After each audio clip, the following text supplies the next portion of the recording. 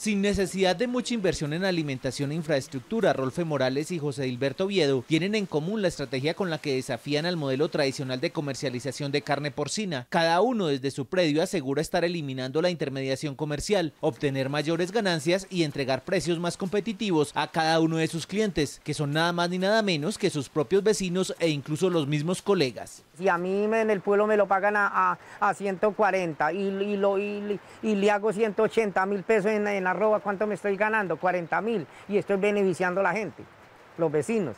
En el pueblo está la libra de carne a 10 mil pesos, 9 mil, 10 mil pesos. Eh, mientras le vamos a dar la ganancia a uno del pueblo, pues entonces que nos quede un pesito más a nosotros y, y se va a beneficiar la comunidad porque aquí se le da la carne más barata.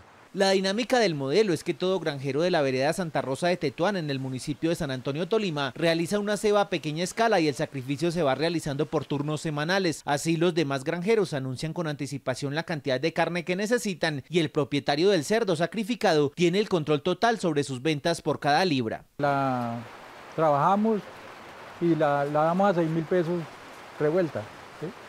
Entonces la compra más económica, nosotros sacamos el cortecito de marranos eh, cuatro, tres, cinco marranos eh, en esa cochera. el objetivo de nosotros es para sustento de la familia, ¿no? Y, colaborarle también a la gente cuando el vecino tiene marranos, entonces nosotros le compramos, cuando nosotros o yo tengo, entonces ellos me compran, sí, y así.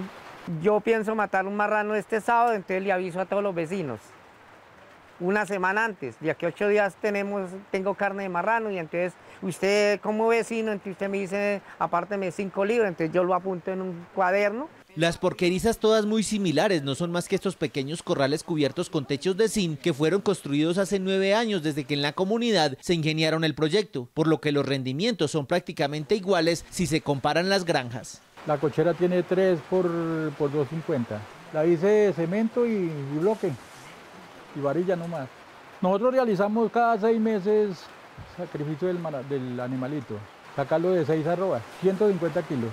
De esta manera, el pequeño porcicultor está vendiendo en 1.800.000 pesos cada cerdo que sacrifica dentro de su misma finca, sin tener que pagar transporte para llevarlo a los expendios de carne de la zona urbana, donde solo le pagarían 1.680.000 pesos por el mismo animal. La comercialización de la carne al interior de su comunidad no exime al productor de la aplicación estricta de planes sanitarios. Ellos se dan incluso la licencia de comprar los lechones que consideran de genética superior.